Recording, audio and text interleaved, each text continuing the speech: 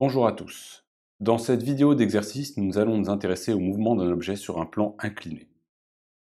Alors voici la situation de l'exercice. Vous avez ici un objet qui est posé sur un plan incliné. Au début, il n'a aucune vitesse initiale et on va le poser au centre de notre repère et il va dévaler la pente dans la direction x. Donc on a un repère x et y, un repère orthonormé, et ce repère est posé au niveau du plan incliné. Le plan incliné lui fait un angle alpha par rapport à l'horizontale et on va s'intéresser donc au mouvement de notre objet M. Pour cela, on va commencer par faire un bilan des forces. Il y a deux forces qui vont agir sur ce système, le poids vertical vers le bas et euh, la réaction normale au plan incliné qui est ici représentée par le vecteur R.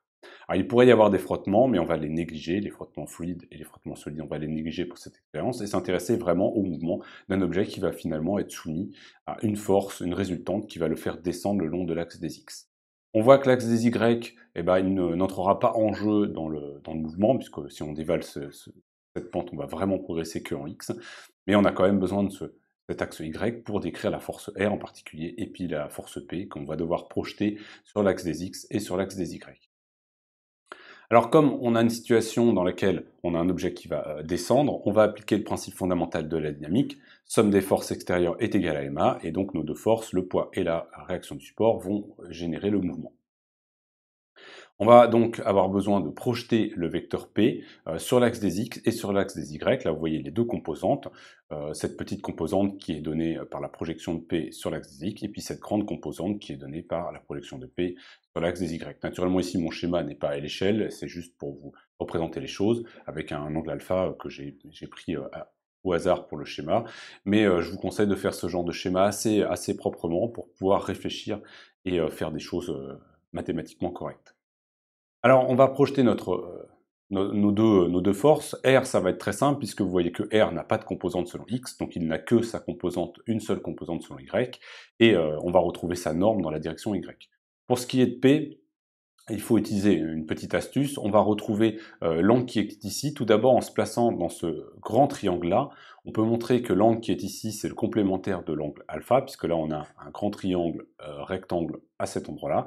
Donc ici, on a pi sur 2 moins alpha comme angle. Et si on se remet dans ce triangle-là, qui est cette fois-ci rectangle ici, eh ben, on va pouvoir euh, montrer que le l'angle qui est de ce côté-là, eh ben c'est le complémentaire à celui-ci. Donc c'est pi sur 2 moins cet angle-là. Donc pi sur 2 moins pi sur 2 moins alpha, et on retrouve que l'angle au-dessus, c'est l'angle alpha. Donc si on connaît l'angle qui est ici, et qu'on se place dans ce triangle-là, on peut calculer euh, bah, finalement ce côté-là, qui correspond à la projection de P euh, sur l'axe des X. Donc pour calculer ça, on va calculer le sinus de alpha. Le sinus de alpha, c'est la composante de P selon X ici divisé par l'hypoténuse qui est la norme de P. Donc c'est Px sur P, et donc ça, ça va me permettre de calculer Px, sachant que la norme de P, c'est Mg.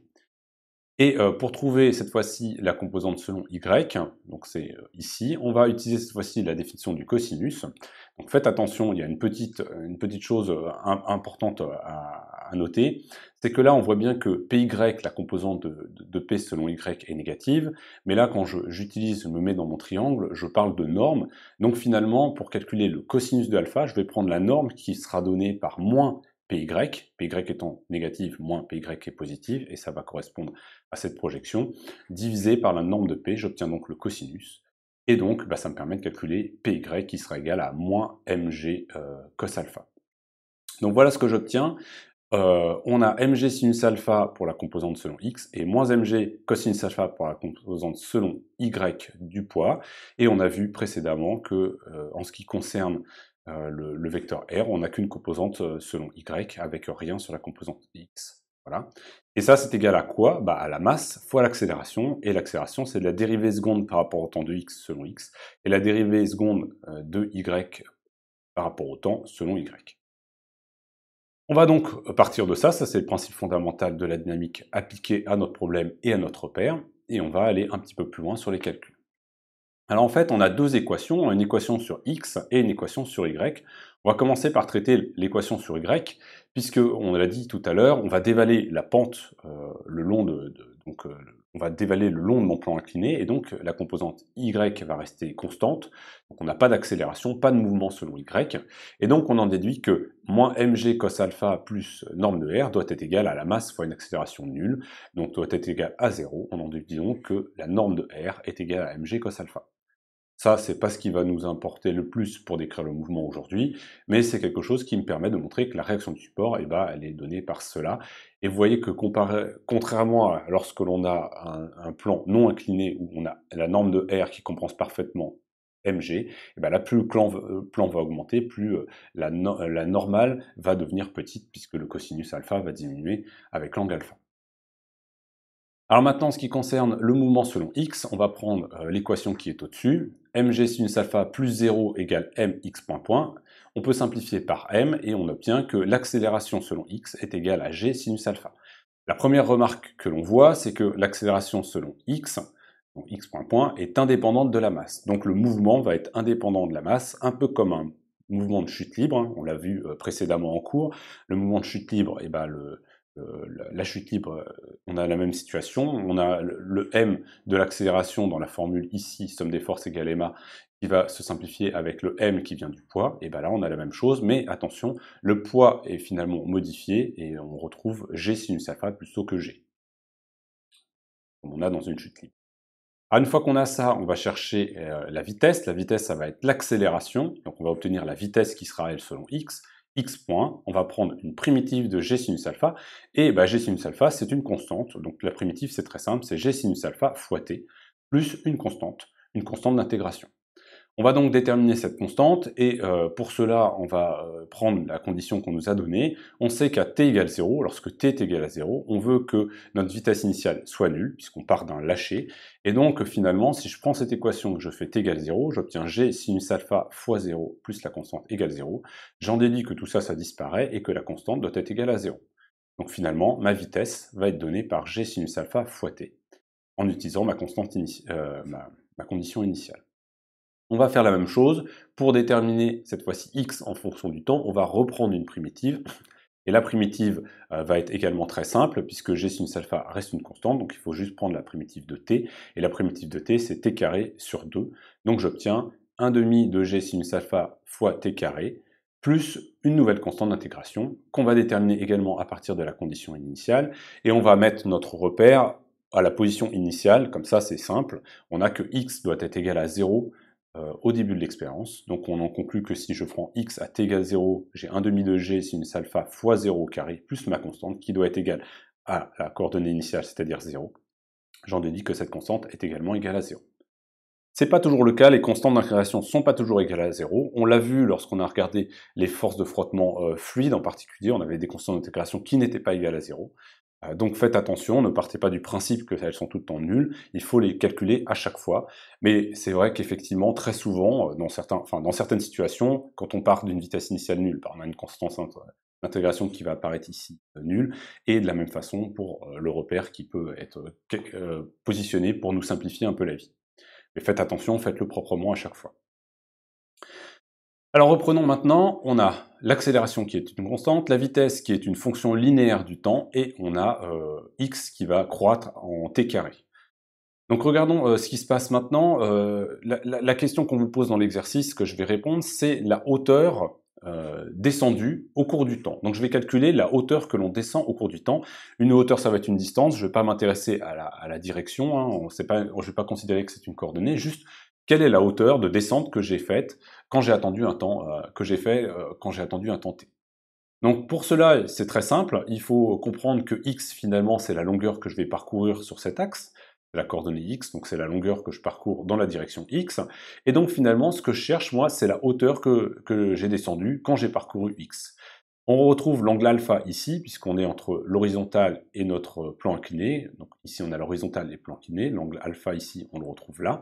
Et donc finalement, le lien entre h et x va être très simple, puisque là, on a affaire à un triangle rectangle. Ça, c'est le côté opposé sur côté adjacent euh, sur l'hypoténuse, pardon, par rapport à alpha. Donc finalement, c'est le sinus alpha qui me donne h sur x. Et donc h, c'est x fois sinus alpha. Donc on va prendre cette équation-là et on va juste la multiplier par sinus alpha et on obtient h égale 1 demi de g sinus carré de alpha fois t au carré. Ça, c'est la hauteur descendue au cours du temps. Donc on va mettre cette équation maintenant de côté. Euh, non, on va faire une petite application numérique. On va calculer le temps qu'il me faut pour descendre une hauteur de 1 mètre. Donc pour cela, on va reprendre cette formule et on va chercher à exprimer t par rapport à h. Donc il suffit d'inverser, hein, passer le 2 de l'autre côté de l'égalité, le g sinus alpha carré de l'autre côté, et on obtient t carré égale 2h sur g sinus carré de alpha. Faites attention, quand on prend une racine, il faut toujours euh, vérifier qu'on on prend la racine sur quelque chose de positif. Là, on n'a pas de souci. H, je vous ai dit que c'était une hauteur hein, de descente, certes, mais une hauteur. G, c'est positif. Sinus alpha carré, c'est positif. Donc, T, c'est bien racine de 2H sur G sinus carré de alpha. Si vous faites l'application numérique qu'on vous demande, on vous dit euh, on veut descendre d'une hauteur de 1 mètre. J'ai pris G égale 10 pour simplifier les calculs. Et on a un plan incliné de 45 degrés. Le sinus euh, de 45 degrés, c'est racine de 2 sur 2. Donc le sinus carré de 45 euh, degrés, ça va être racine de 2 sur 2 au carré, ça va nous donner 2 sur 4, donc 0,5. Et donc c'est très simple à calculer, on obtient racine de 2 sur 10 fois 0,5, et vous obtenez euh, un temps de 0,63 secondes pour descendre d'une hauteur de, donc de 1 mètre lorsque le plan incliné est incliné de, de 45 degrés. On vous pose ensuite une autre question. Euh, on vous dit voilà, on va euh, regarder euh, ce que donne x, la vitesse en fonction du temps pour différents angles et on essaie de comprendre comment ça va fonctionner. Donc là, pour, pour comprendre ça, on va regarder la vitesse, on va regarder x et puis après on va regarder la hauteur de descente en fonction de l'angle alpha et du temps. Et donc ici, j'ai représenté cette vitesse, la vitesse x, en fonction du temps, pour deux angles possibles, alpha égale 45 degrés et alpha est égal à 30 degrés. Le temps, je l'ai fait varier de 0 à 2 secondes, donc là ici c'est le temps, et ici c'est la vitesse que l'on obtient en mètres par seconde. Donc on voit que quand le plan est incliné de 30 degrés, la vitesse augmente linéairement, hein, ça c'est donné par cette euh, formule, mais comme le sinus est plus petit, bah, on va augmenter moins vite que si on prend euh, à 45 degrés, on va, finalement accélérer plus vite, hein. l'accélération sera plus grande, donc la vitesse qu'on va obtenir au bout de 2 secondes, bah, typiquement va être plus grande. Maintenant si on regarde euh, x en fonction du temps, bah, là ça va être à peu près la même chose, mais cette fois-ci on va avoir une formule qui va être en t carré, donc vous avez une parabole, et comme le terme sinus alpha va être plus grand pour 45 degrés que pour 30 degrés, et eh ben on va avoir une parabole qui va monter plus vite pour 45 degrés que pour 30 degrés. Jusque-là, c'est relativement simple, on va parcourir une distance donc plus grande lorsque le plan est plus fortement incliné. Enfin, euh, dernière chose simple à regarder, on va regarder la hauteur de descente en fonction du temps, et bien là c'est pareil, c'est la même courbe que précédemment, mais remultipliée par sinus alpha, et donc on retrouve cette hiérarchie avec une, une hauteur euh, de descente plus euh, grande pour un angle de 45 degrés par rapport à 30 degrés. Ça, jusque-là, c'est très intuitif, et c'est pas le résultat qui est le plus intéressant. Le résultat le plus intéressant, c'est le suivant. On va regarder ce qui se passe. On va représenter cette fois-ci la vitesse, Vx, en fonction de la hauteur descendue. Donc je vais euh, finalement, pour chacun des temps, je vais vous la mettre tout de suite, non, c'est... Euh, pardon, voilà, on va y arriver. Donc si je, je, fais ça et je représente ça, je représente ma vitesse qui est donnée par g sinus alpha et je calcule pour le même temps la hauteur et je mets un point à chaque fois sur ma courbe. Et là, ce que vous voyez, c'est quelque chose d'intéressant, c'est que les deux courbes sont superposées. La courbe bleue, on voit pas très très bien, mais elle va jusqu'ici, puisque après deux secondes, eh ben, on, obtient, on obtient une vitesse qui est plus faible, mais par contre, euh, on obtient, euh, on a, enfin, on a la même vitesse lorsque l'on descend de la même hauteur. C'est ce qu'on voit sur cette courbe, puisque les deux courbes sont superposées. Donc je le redis, on va obtenir la même euh, la même vitesse lorsque l'on aura descendu la même hauteur, même si pour un alpha de 45 degrés, on va aller plus vite pour atteindre cette, euh, cette hauteur et donc plus vite pour obtenir cette vitesse. Si on descend d'un mètre, on aura une certaine vitesse, et ben si on descend d'un mètre avec 45 degrés ou 30 degrés, on aura atteint la même vitesse. Ça c'est un, un, résultat qui est vraiment intéressant, on le voit sur cette courbe, et en fait ça se démontre aussi au point de vue euh, calcul, donc on va le faire.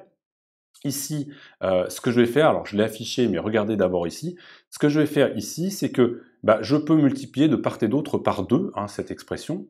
Donc ça va me donner 2h et puis le 1,5 va disparaître. Et je peux aussi multiplier par g de part et d'autre, et je vais obtenir 2hg euh, égale à g carré sinus carré de alpha t carré.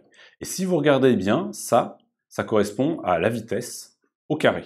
Donc finalement, la vitesse, euh, elle est donnée par racine de 2hg, et vous voyez que c'est totalement indépendant de euh, l'angle d'inclinaison de mon plan.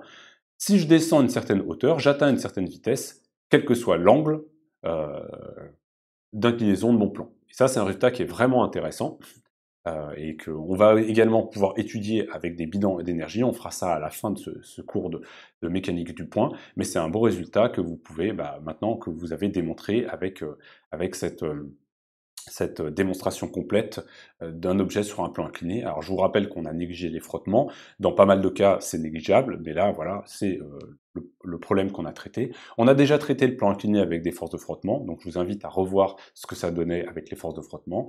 Euh, et puis, bah voilà, on s'arrête là pour cet exercice.